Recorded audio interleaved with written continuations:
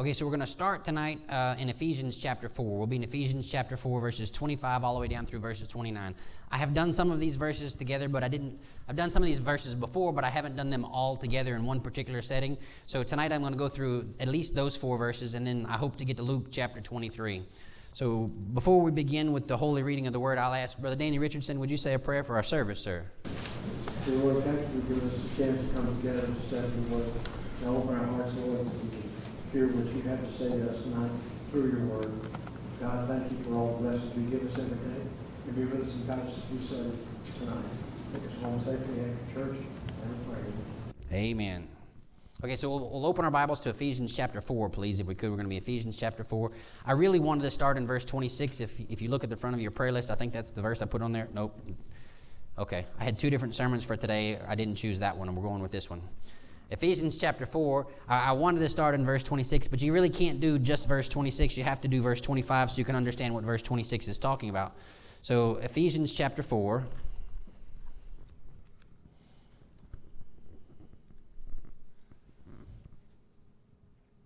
When is anger okay? was the title for the message.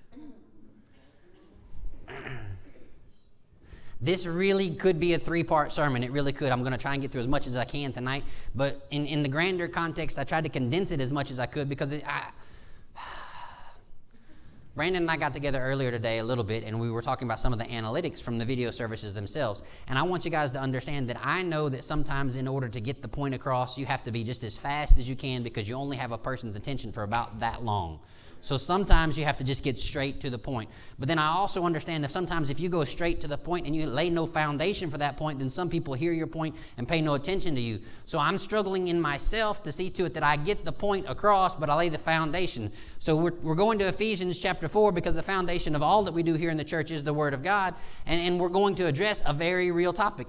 I'm not just picking this because two people came to me this week and, and they said, you know, Brother Claude, I'm having, I'm struggling with anger issues. That's not why. I, and I have to, like, I have have to guard my words pretty closely there because I, I, want to stand in the pulpit of God and I want to be completely honest with you. But several people this week, several means more than a couple, so that's at least three. So anytime I say several, it's at least three had come to me this week very specifically with anger management issues. They had anger issues in their lives. And the great thing about that is it's completely addressed in Scripture. It is. It's completely addressed in Scripture, but yet we come to church, we don't hear the sermon, or we don't pay attention to the sermon, or worse, we hear the sermon, but we don't apply it to our own lives. And because we don't apply it to our own lives, then we deal with those anger management issues forever. Anybody? Nobody want to say amen to that? Okay. So, in, in this particular instance, I also want you to know there was so much in Scripture about anger that I really condensed this quite a bit. So, I would love to have your attention on anger for at least a three part message. But tonight, we're going to do as best we can with the limited amount of time we have. We're going to start in Ephesians chapter 4, verse 25. Ephesians chapter 4, verse 25. I was taught in school you're supposed to say the verse three times before you start reading it. I know we're all there already, but Ephesians chapter 4, verse 25. Sorry, it's just stuck in me. Therefore, putting away lying, let each one of you speak truth with his neighbor, for we are members of one another. So if you look at this, the title message is when is it okay to be angry? And the first verse that we go to is a verse that talks about what makes us angry. We get mad when somebody lies to us. Amen? But right here it says that we are in control not of what that person does or that person says, we're in control of what it is we say. He says, Let each one of you speak truth with his neighbor. So he's not asking us to get angry about somebody lying to us, he's asking us not to lie to anybody, so then in turn they're not mad at us. Think about it if everybody in the world that claimed to be a Christian refused to tell a lie, then the other half of the world wouldn't have any reason to be mad at us because at least we're honest.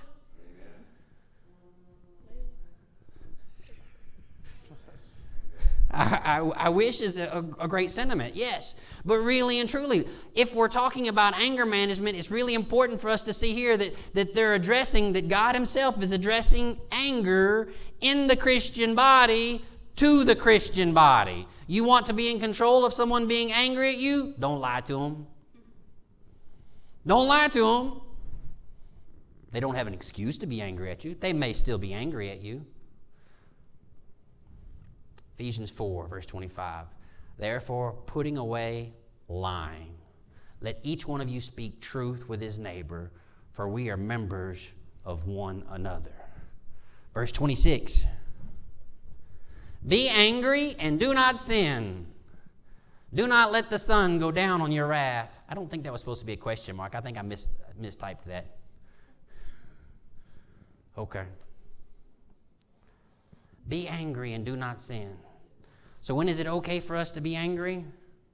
Well, it says you can be angry. But then it says, do not sin. So here's the answer to the question when is it okay to be angry? And I hate that I'm doing this so soon in the message because this is when everybody's going to hear the answer. They're going to click off the rest of this and not hear the rest of the message. When is it okay to be angry? When you're still in control. be angry, but do not sin. So if you want to be mad, be mad, but don't sin. And if you're mad and you do something and it's sinful, you're the problem.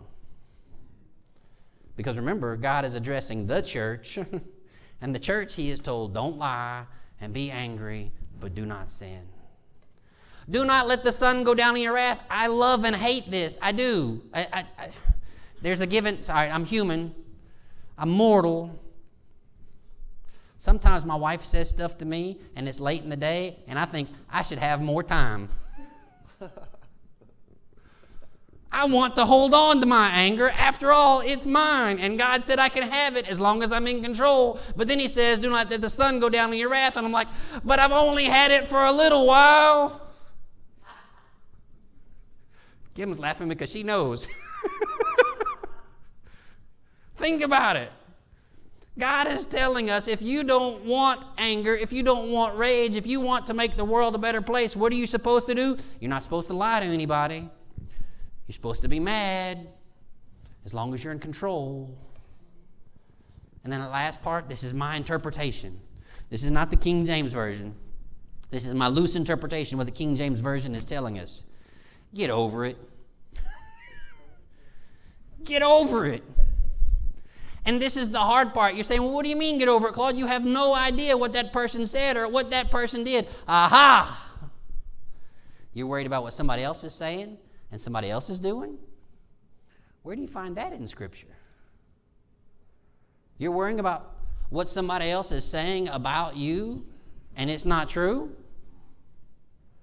I wonder how Jesus would respond to that. We're going to get to that later since after all, he is our example, and since after all, he lived the perfect life, and since after all, every time I talk about anger, they go like, what about Jesus? He cleansed the temple. And I say, okay, there is righteous anger. There is. Like, great, explain that to me.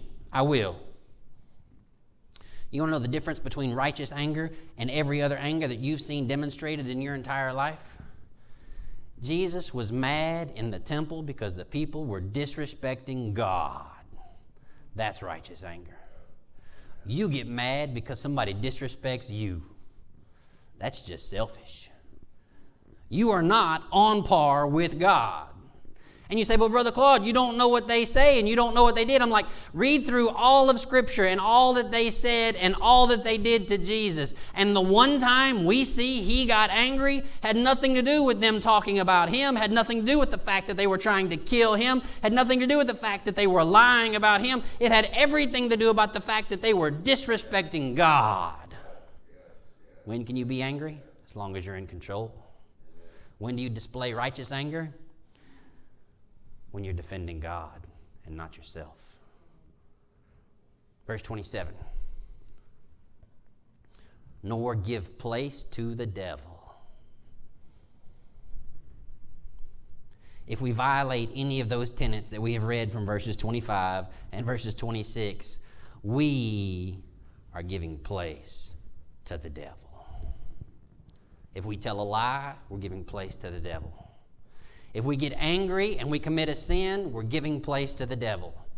If the sun has gone down and you have decided you wanted to hold on to your wrath because after all it's yours, you are giving place to the devil. Be angry, do not sin. get over it, or else you're giving some place to the devil. And this is the thing, ladies and gentlemen. If you've surrendered your life to Christ, there's no room for anybody else. You're full. God does not want to share you, and I'll be honest with you, neither does the devil. He don't want a little bit, he wants all of you. Who am I talking about? Both of them. Because that's what you get. You can't straddle the fence. You get one or the other. Verse 28. Let him who stole steal no longer, but rather let him labor, working with his hands, what is good, that he may have something to give him who has need. We started this off with when is it okay to be angry? And we see here the focus wasn't on the right place. We see here that, it, that if someone is guilty of doing something, remember, we're supposed to be angry, but sin not. We're supposed to not let the sun go down on our wrath. So then tomorrow, when I get up and I see that person who has done something that has offended me in some context, I'm not supposed to treat that person like I'm still mad at them from the night before. I'm supposed to rather encourage that person to work with their hands to do something good. Why? Because the focus of our efforts as Christians, the focus of our efforts as little Christ, the focus of our efforts of being the church, the hands and feet of God, is supposed to be our focus on getting someone who is in need something that they don't have. There's a lot of people in this world that don't have Jesus Christ. How do we help them get that? We encourage someone who's done something wrong to turn around and do something right. Verse 29 Let no corrupt word proceed out of your mouth, but what is good for necessary edification, that it may impart grace to the hearers. I'm going to read this one again and then we get point number one. I've got time. Let no corrupt word proceed out of your mouth, but what is good for necessary edification. What are we supposed to be saying? We're supposed to be saying things that are good and necessary. Good and necessary for edification. What is the edification? It is the building up. What are we supposed to be focusing on? We're supposed to be focusing on not what somebody else is saying, but we're not supposed to be lying. We're supposed to be angry, but we're not supposed to sin. We're supposed to get over it. We're supposed to see someone who's done something wrong. We're supposed to encourage them to do something right so we can reach those people who are lost. We're supposed to realize that the words that come out of our mouth are guided by the very word of God. Let no corrupt communication proceed out of your mouth.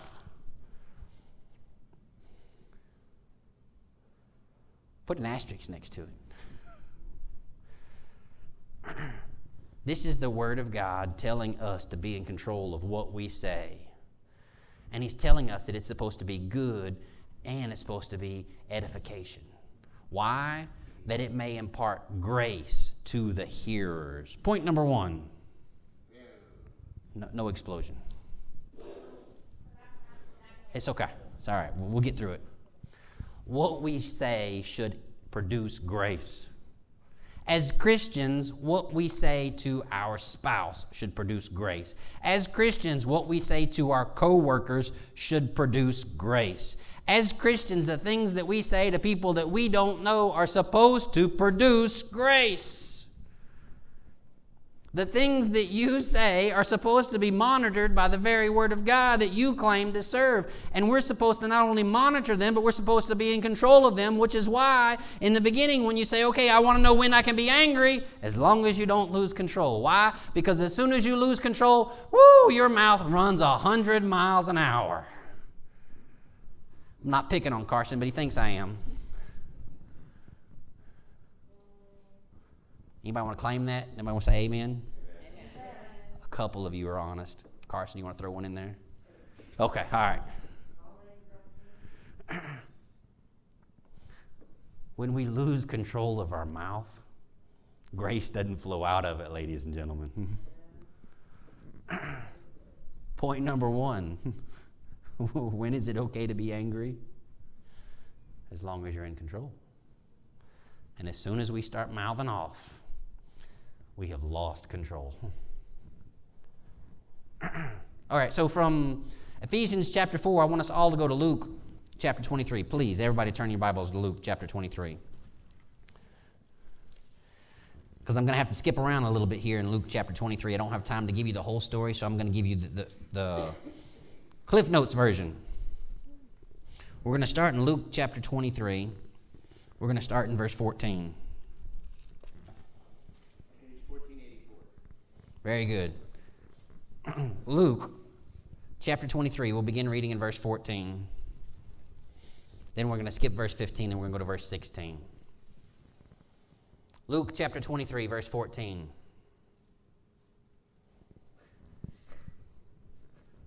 I really should have included verse 13 so you could know who's saying this, but I'm going to I'm going to let you fill in these blanks because you know this story. Luke chapter 23, verse 14 said to them, You have brought this man to me as one who misleads the people. And indeed, having examined him in your presence, if you haven't picked it up just yet, they're talking about Jesus. They're talking about Jesus standing there on his trial. So he is saying, All right, so I, you have brought this man to me, and you said that he misleads the people. And I have examined him. Not only did I examine him, but I examined him him in front of you. Continuing in verse 14, he says, I have found no fault in this man concerning those things of which you accused him of.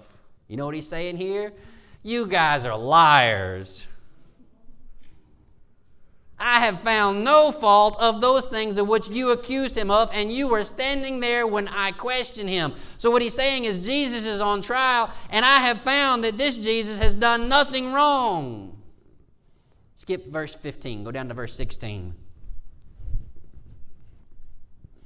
I will therefore chastise him and release him. Chastise, when it's used in Scripture, means whip. Hmm. It means beat. It would be torture today. We would classify it as torture. Think about this for just a second. Remember, the question was when is it okay to be angry? The one occurrence that we have of Jesus showing anger isn't about to show up in this particular story, and Jesus has just been found guilty and convicted. I mean, he's been found innocent and convicted at the same time. This guy didn't do anything that you said he did, so what I'm going to do is I'm going to beat him and then let him go. Point number two boom.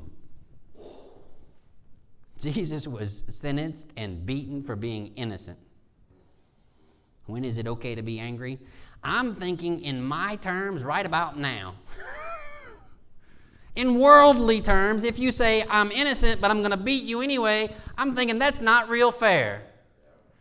And yet, this is what Jesus is going through, and he's going through it. He's recorded in Scripture so that we can learn from it. So, if you want to know when it's okay to be angry, just because you're innocent of something and found guilty at the same time doesn't appear to give you the right to be angry. Why? Because that's not how Jesus responded. Let's be honest, those people who wanted him to be found guilty, they weren't happy about this either. Going all the way down to verse, I think I'm down to 23 now. Let's see. Yes, verse 23.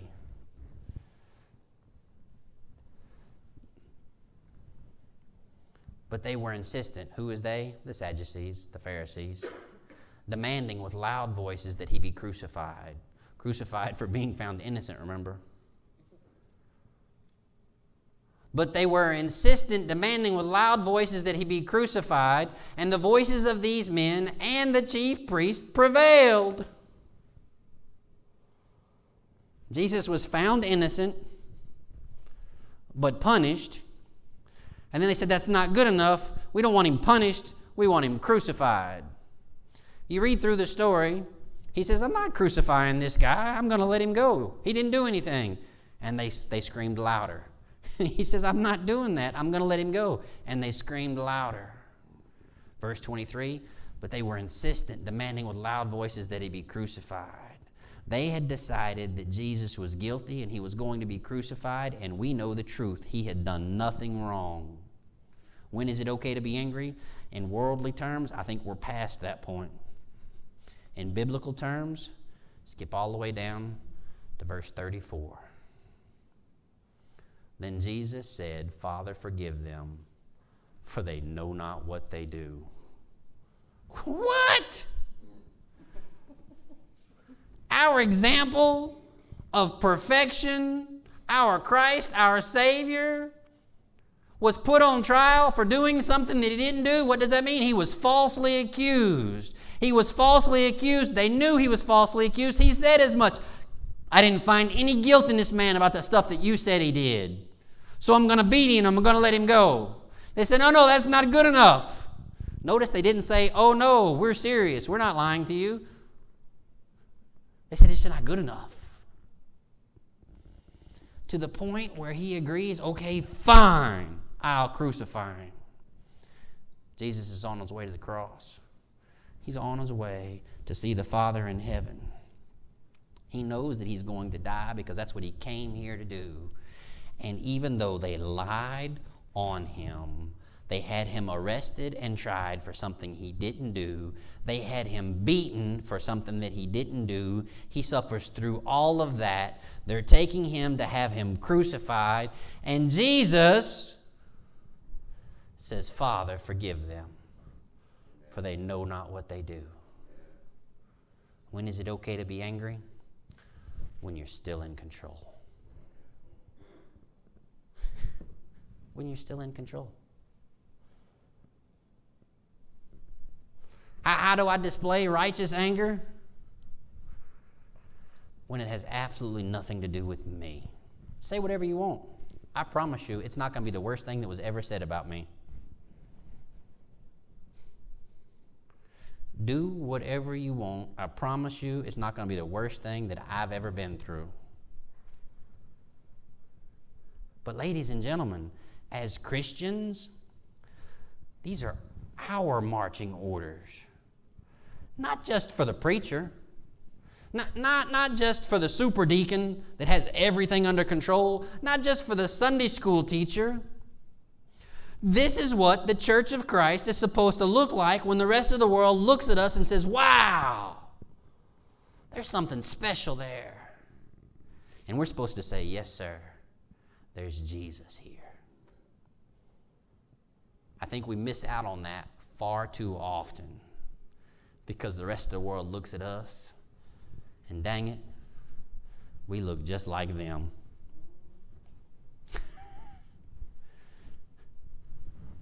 But tonight, we can change. Point number three, I'm sorry. Sometimes I get excited when I get close to the end of the message.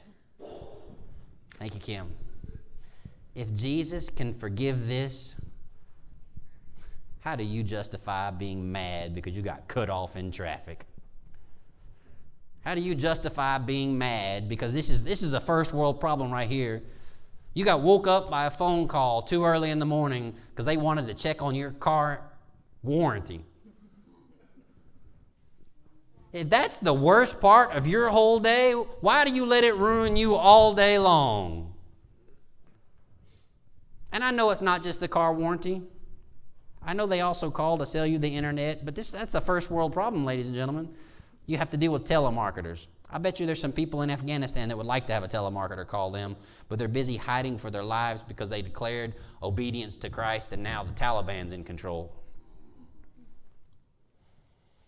Really, if Jesus can forgive being lied on, being convicted, and crucified, how do we justify being mad just because somebody said something we didn't like?